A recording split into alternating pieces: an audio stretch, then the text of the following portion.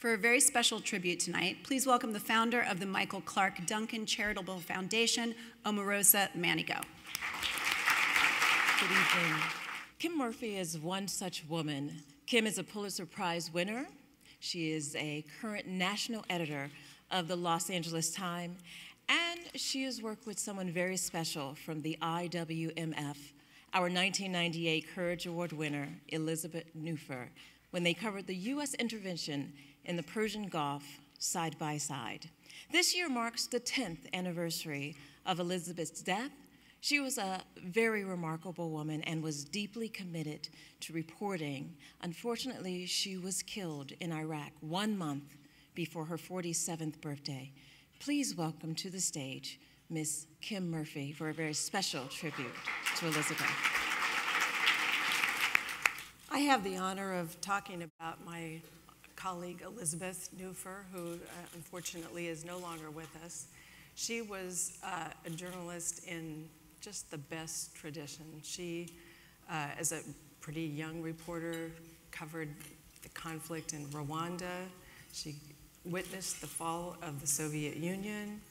She covered the collapse of Yugoslavia, did stunning work in documenting uh, the war crimes and atrocities that occurred there.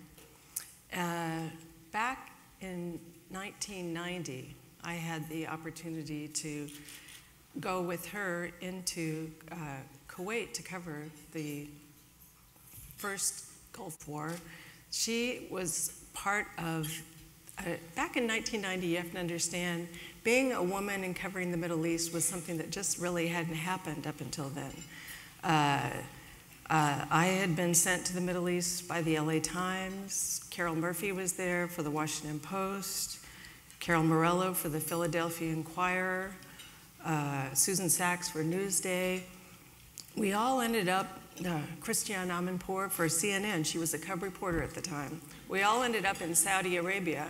Uh, and obviously, we had the problem of driving and getting to Kuwait. Uh, we enlisted Bill, Bill Dowell of Time magazine to uh, drive our Isuzu trooper up through Saudi Arabia.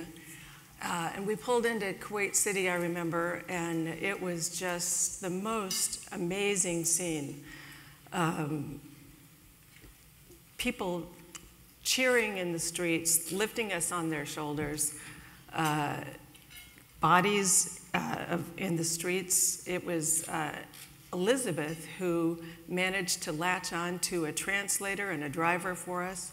She immediately arranged our programs. She took us out to meet Kuwaitis who had had uh, stories of what had happened during the Iraqi occupation, and she was just relentless in documenting everything that had happened during the Iraqi occupation. She wrote meticulous, thoroughly researched stories.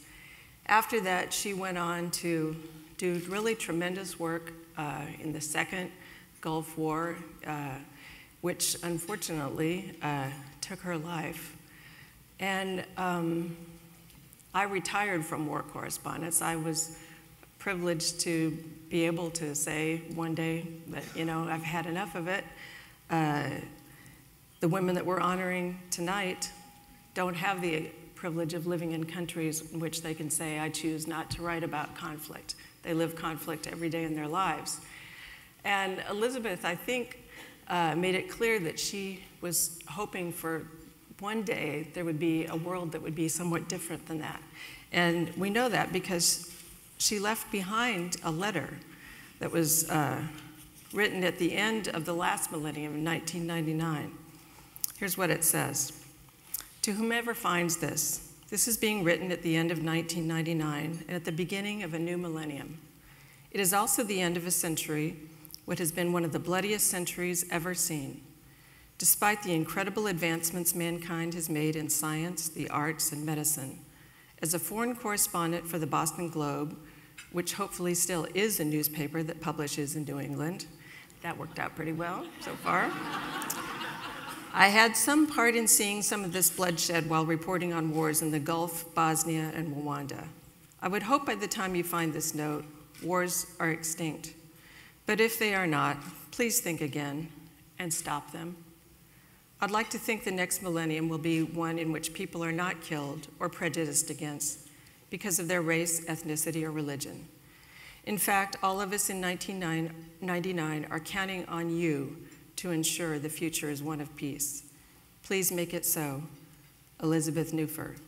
Let's remember that tonight and for a long time, shall we?